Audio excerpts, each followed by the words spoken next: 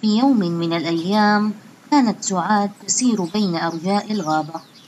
وفجأة رأت بحيرة كبيرة سرت كثيرا لأنها كانت بحاجة إلى الماء لري أزهار حديقتها التي زرعتها بالقرب من منزلها. أحضرت دلوا وملأته بالماء.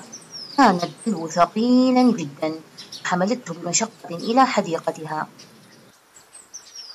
كررت هذه العملية يوما بعد يوم.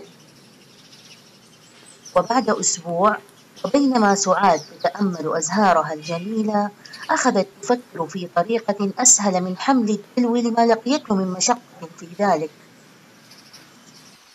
وفجأة قالت وجدتها نعم أكيد وجدتها. سأحفر قناة من البحيرة نحو حديقتي. بدأت سعاد في اليوم التالي بمشروعها الجديد. وما إن انتهت منه وجرى الماء في القناة حتى شعرت بسعادة غامرة. قالت أعمل بذكاء ولا تعمل بعناء. شبكة الماء التي صنعتها أفادتني كثيرا. من خلال هذا المقطع عزيزتي اذكري أكبر عدد ممكن من الشبكات من حولك.